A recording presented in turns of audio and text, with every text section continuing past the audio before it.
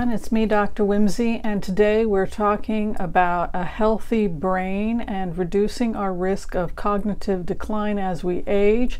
And if you took a look at the opening vignette, that was taken by me during yesterday's conference at the University of Southern California, which uh, hosted a series of talks on how to prevent and treat uh, both Alzheimer's and non Alzheimer's dementia. So, a little bit about what dementia is it's cognitive decline. Uh, usually, we will see uh, uh, in brain imaging studies, we'll see damage, uh, various different types of uh, damage like plaques or tangles. You may have heard that uh, vernacular, Lewy bodies. There are all kinds of ways that doctors, clinicians diagnose this type of, of de- decline. And we also note changes in behavior even long before there's uh, ev- any evidence on imaging. So, uh, the bi- biggest risk factor, aside from genetics, that we see in people who are at risk of these types of uh, neurodegenerative diseases, uh, the biggest risk factor is age. Uh, simply growing older puts you at risk of neurodegenerative uh, diseases. The good news is that is that there are things we can do from a naturopathic perspective that can dramatically improve our brain function and uh, even in, enhance our brain function long into our senior years. So that is what this video is about, and uh, hopefully we can all incorporate these uh, simple. Uh, simple suggestions. Uh, first on the list uh, of suggestions would be to uh, decrease, eliminate entirely, if you can, recreational drug use. There were some interesting lectures that were given on the impact of recreational drugs on brain health, and that's because uh, studies have shown that people who use recreational drugs, particularly drugs like heroin, snorting heroin, can experience uh, brain damage that can lead to cognitive decline. And in some cases, it's permanent. So, absolutely, first on the list we want to see people stop using recreational drugs. Uh, second on the list, along with that, would be alcohol. Uh, chronic alcohol use and abuse is also associated with increased risk for cognitive decline. Uh, the next thing we talked about was diet and nutrition. Excuse me. Uh, diet and nutrition def- definitely came up. Uh, that has to do with the fact that there is a correlation between uh, what we eat and uh, brain health. Specifically, we're looking at two areas of nutrition that can have an imp- impact on brain health. The first is diabetes and uh, diabetes prevention diets. We've talked about this in the past, and I may want to go over it again in the future. That is eating a nutrient dense uh, diet, or what we call a Mediterranean diet. Uh, green leafy vegetables, uh, fresh fruits, nuts, seeds, whole grains, uh, um, minimal amounts of animal products. The lower glycemic foods is associated with uh, uh, weight loss control, and it's also associated with better cognition. The second area of study, uh, you know, first being re- reducing risk for uh, diabetes by having a nutrient dense uh, low glycemic diet uh, and uh, calorie control. That was the first thing. And the second was heart health. Excuse me, the correlation between heart health and brain health. And that is because we now realize that what is good for the brain is also good for the heart.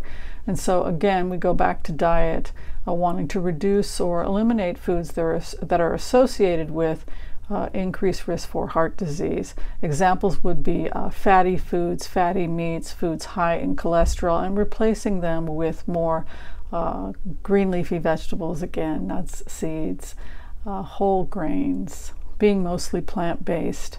And uh, if you are going to eat animal uh, products, we encourage people to consume more things like wild salmon and uh, lean meat, uh, like chicken, preferably uh, removing the skin.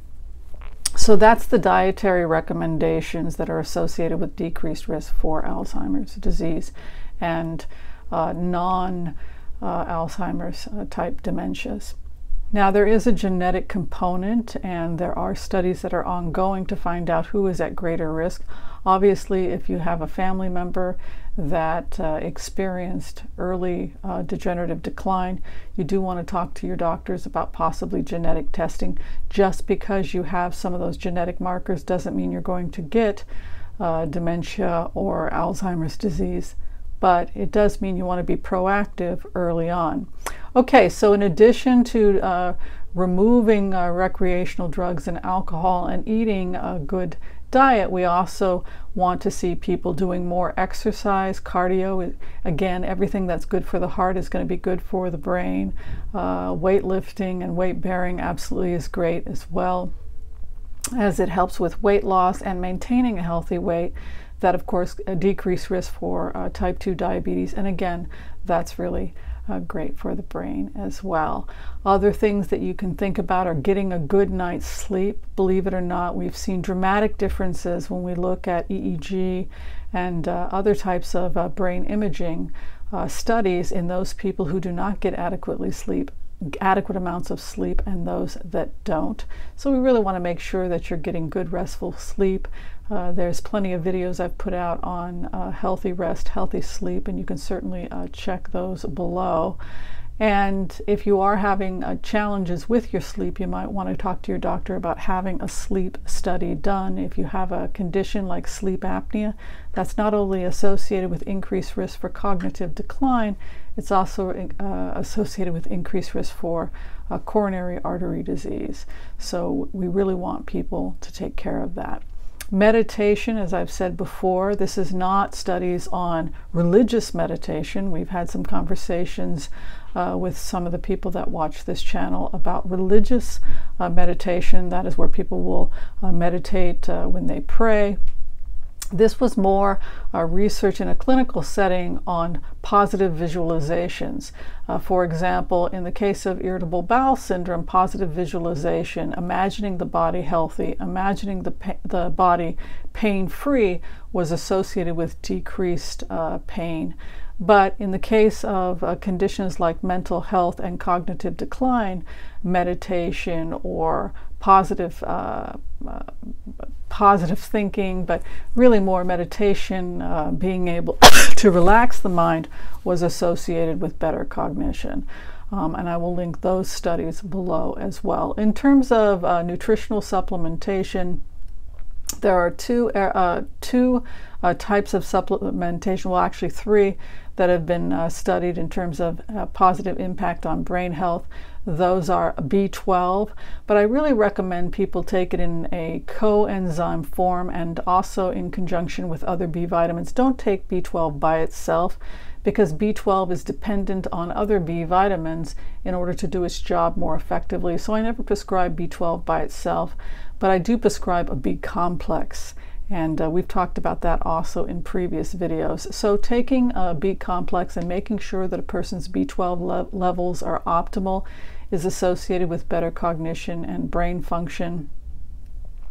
Fish oil has been studied, uh, making sure people have adequate amounts of omega 3.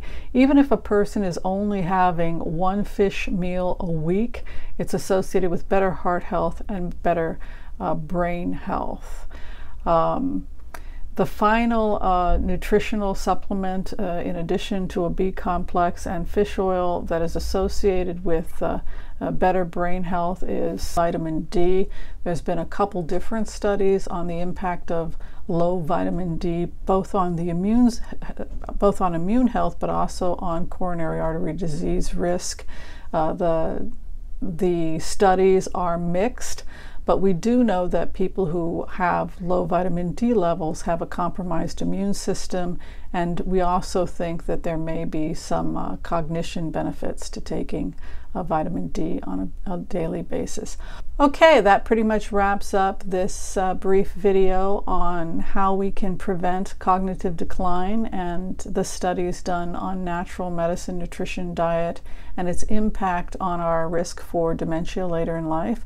Hopefully, we gave you some great ideas and simple tips you can do in order to improve your health that are cost effective and not too difficult to implement. All right, thanks for watching, everyone. My name is Dr. Whimsy Anderson. If you'd like to find out more about my work and simple things you can do to improve your health, you can see my link below. Take care, everyone, and we'll see you next time. Bye bye.